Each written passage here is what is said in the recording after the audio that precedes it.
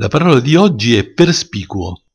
L'aggettivo perspicuo deriva dal latino perspicuus, participio del verbo perspicere, composto dal prefisso per, che dà l'idea dell'attraversare, e dal verbo specere, che vuol dire guardare, quindi penetrare con lo sguardo.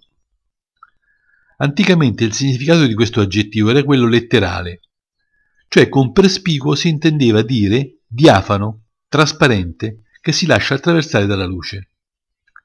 Successivamente è prevalso il significato figurato e con perspicuo si intende qualcosa di evidente, che è facile da capire grazie alla chiarezza e alla precisione con cui è espresso.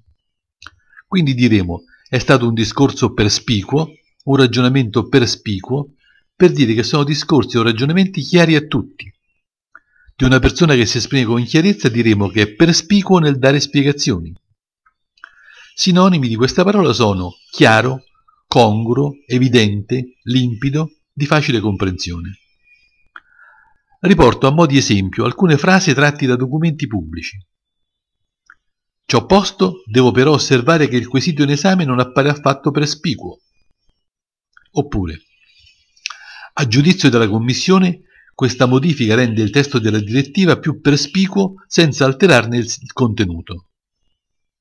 O infine, il Comitato auspica che le modalità di gestione e di accesso ai fondi vengano rese più perspicue e si traducano in istruzioni pratiche chiare.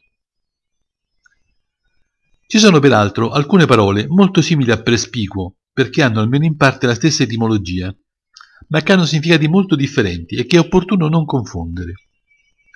Innanzitutto il poco usato prospicuo, dove il prefisso pro al posto di per indica il senso di elevato, al di sopra, in posizione elevata e viene usato in senso proprio. Ad esempio, il castello fu costruito in luogo prospicuo. Oppure, si mise in posizione prospicua per osservare meglio tra la folla. Usato anche in senso figurato. Un gentiluomo dai prospicui natali, per dire che è una persona, diciamo, di natali eh, nobili oppure il lignaggio non era prospicuo, per dire esattamente il contrario.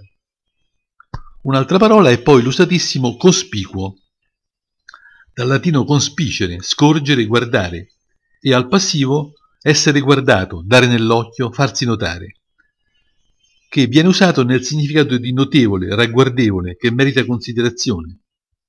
Per cui diremo per esempio famiglia cospicua, persona cospicua, ma anche e soprattutto numericamente o quantitativamente grande, un cospicuo patrimonio, una somma cospicua, una cospicua eredità.